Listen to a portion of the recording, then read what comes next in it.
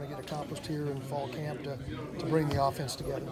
Well, um, obviously with the new quarterback, we have to find out um, what he can do, and it's incumbent upon us as coaches to find out, you know, whoever the starting quarterback is, what he can do and, and what he can do well.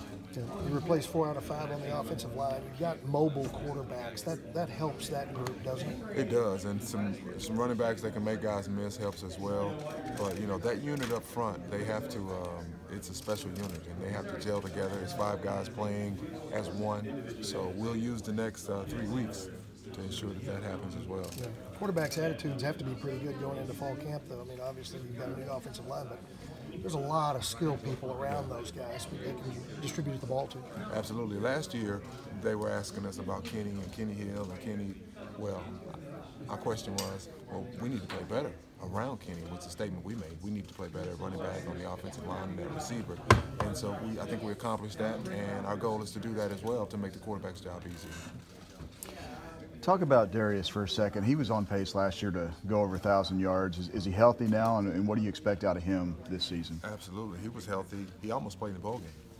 Uh, he, he tried to get back for that. So he went through the spring with no issues whatsoever.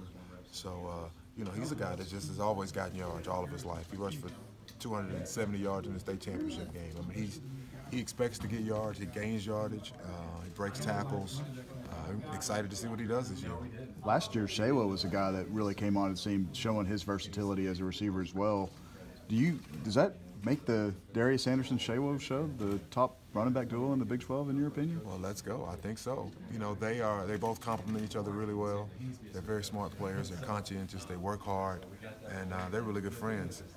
We'll, we'll have both of those guys on the field a lot this year. How much does it help having those two guys uh, with Shawn or even Michaels yeah. transition as a new quarterback? Yeah, you know, not only do they have to play well for us, but we're asking those guys to be leaders. They need to be leaders, and uh, we lost a lot of leadership last year with our offensive line, McKinney, Kyle Hicks, John Diarse. We lost a lot of leaders, so I'm asking a lot of those two guys in the backfield. Not only get yards, make people miss, make the quarterback's job easier, play on special teams, but we need leaders on offense. How big was it for you guys last year with uh, Jalen's emergent those last two games, Jalen Reagor's emergent as a receiver, and, and, how well do you think he would uh, be as a target this year for Shawn? Yeah, you know, that's a quarterback's best friend. When you see you got a guy over there that, that runs a 10, 300 meters, and, and they're going to play one high, and he's one-on-one with the corner like he was that one play that mm-hmm. you saw at, uh, at the Alamo Bowl. So, you know, Jalen just continues to get better. Uh, he works extremely hard. You know, he's, he's uh, he has a great, great father who's uh, instilled a lot of that hard work and those work ethic, that work ethic in him. And uh, it's exciting to see. We, we need people to double Jalen so we can run the football as well. Yeah. And if they don't, then we're going to try to throw it over their heads. The question every every year seems to be the, the new crop of guys, the new guys that are on campus. Yeah. Are any of those 2018 kids, did they, did they make an impression on you guys at all in the offseason? Maybe not you guys seeing them, but maybe just word of mouth, or the guys that are fast, or maybe we hear, guys. Uh, yeah. We hear things. We hear how well these guys are supposedly doing. But you know, even Mike Tyson, he had a profound statement when he said, you know, everyone has a plan until they get hit in the mouth.